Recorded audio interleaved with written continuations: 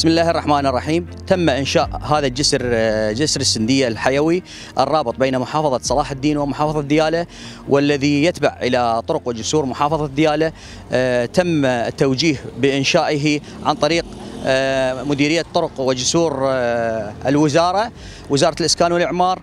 بدأ العمل في هذا الجسر سنة 2000 لم يتم إكماله بحصول الأحداث التي أصابت العراق في العام 2003 ما جعل تركها من قبل المقاول وتم عودته في سنة 2008 و2009 وأيضا كانت هناك أحداث الطائفية وكذلك ترك العمل وجاء بداية عمل جديد بعد أحداث 2014 في سنة 2017 عاد إلى عمله وتم إعطائه جزء من السلفة وقاموا بإكمال هذه الأعمال التي ترونها في سنة 2022 كان هناك خلاف على المقتربات الموجودة على كتفي نهر دجلة في جهة السندية وجهة الحاتمية مما أعطى أمر إيقاف التنفيذ في سنة 2022 الشهر السادس.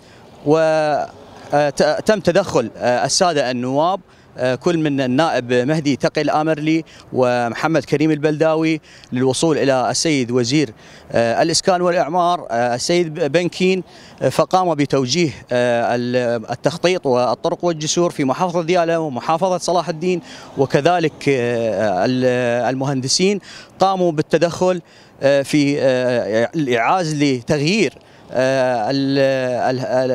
التصاميم الهندسية تصاميم هندسية جديده جديدة أدت إلى تحريك العمل وبدأ العمل إن شاء الله. جاءت الشركة شهر الرابع 2024 بوضع خطواتها وإن شاء الله يتم التنفيذ في الأيام القادمة.